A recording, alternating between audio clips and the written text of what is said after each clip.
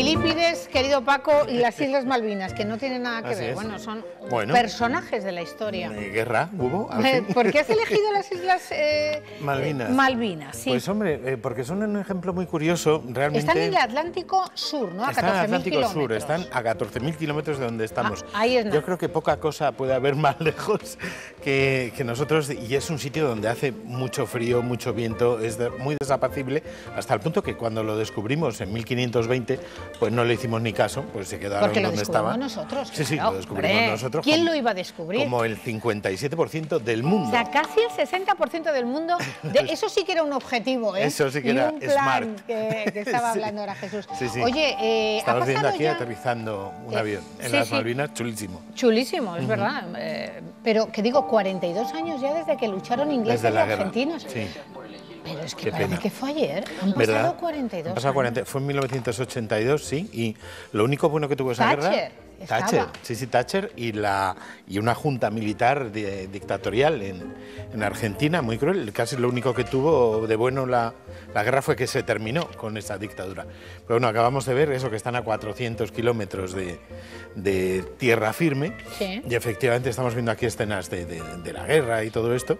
Pero vamos, efectivamente las descubrimos en 1520, no había nadie, es una, eran unas islas que estaban deshabitadas, que es muy raro porque lo normal es que haya nativos en todas partes. Sí, y aquí no. aquí no, era- era- hacía tan malo que ni, ni Ha sido gente. tan malo. En 1540 fuimos otra vez, pero bueno, tampoco, pff, quiero decir, teníamos sitios mejores donde estar. Sí, yo creo que. Yo, vamos, Entonces- yo también hubiera pasado, ¿eh? ¿Verdad? Si era así Claro. la historia.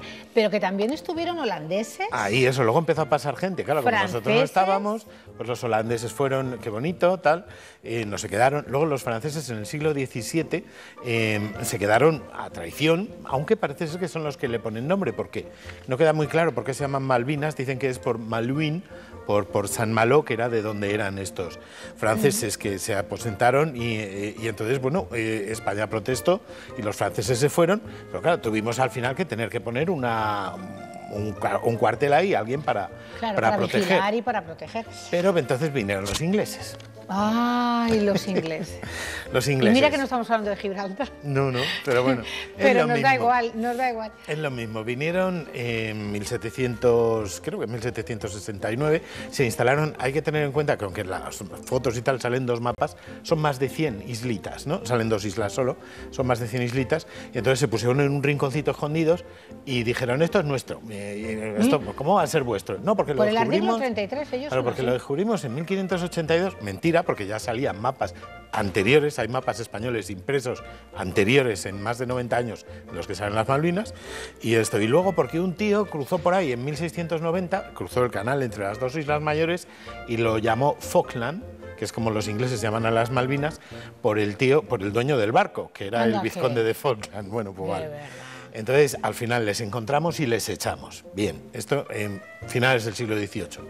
Llega el siglo XIX, Argentina se, se independiza en 1816, entonces las Malvinas se supone que pasan a, a ser parte de, Argentina.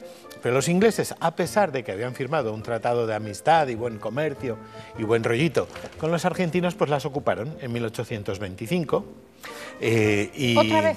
Otra vez, como ya no estaba España para Claro, tal, pues. y Argentina era un país nuevecito. Bueno, hasta Estados Unidos, en 1831, bombardeó Puerto Soledad, que es la pobre capital de la isla.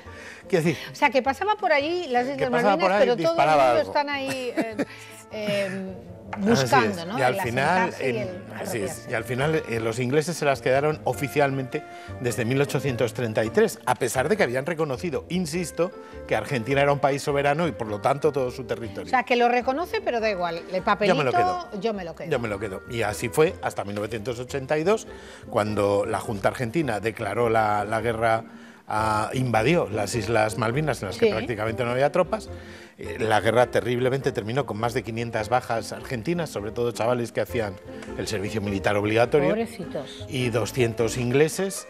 Y, y bueno, y ahí siguen, ahora evidentemente, eh, Argentina es una democracia, pero los ingleses ahí siguen pegados como lapas, que no les sacas ni con agua caliente. De verdad es que de- donde ponen el pie, mm, Pues la preparan, ¿eh? Así es. ¿Cómo Entonces, se apropian de lo que no es suyo? Es Totalmente. es- Entonces, bueno, es un ejemplo de, de- de- de lo que no hay que permitir. y- y bueno, y ya luego faltaban los norteamericanos. Sí, sí, es que todo el mundo, poner. ya te digo, holandeses, franceses, ingleses, norteamericanos, todo el mundo ha querido pasar por, por, un, por un sitio que fue español y que de hecho debería de ser argentino. No hay ningún género de dudas, la ONU lo dice y todo eso. Si siguen ahí es porque creen que puede haya, que haya Claro, es petróleo. lo que te quiero decir. ¿Y cuánta insistencia de todos estos países, Claro. eh, estos intentos de, de quedarse con las islas, si Ah, hace un frío horroroso, si Eso, está en hace, el quinto hace pino? mucho viento, muy frío, muy feo.